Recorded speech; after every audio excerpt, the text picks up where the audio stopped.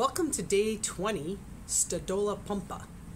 Stodola in Czech means barn, and this is a very upbeat, fun song. And it's got eighth notes and a similar pattern that goes throughout. It's meant to be played very quickly, and the pattern is always one and two, three and four. I'll play the melody and then the harmony the second time. Here we go. One, two, three.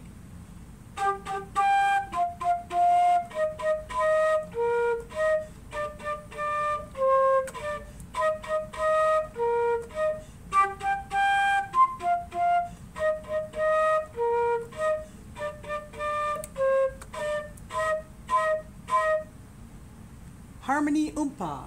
One, two, three.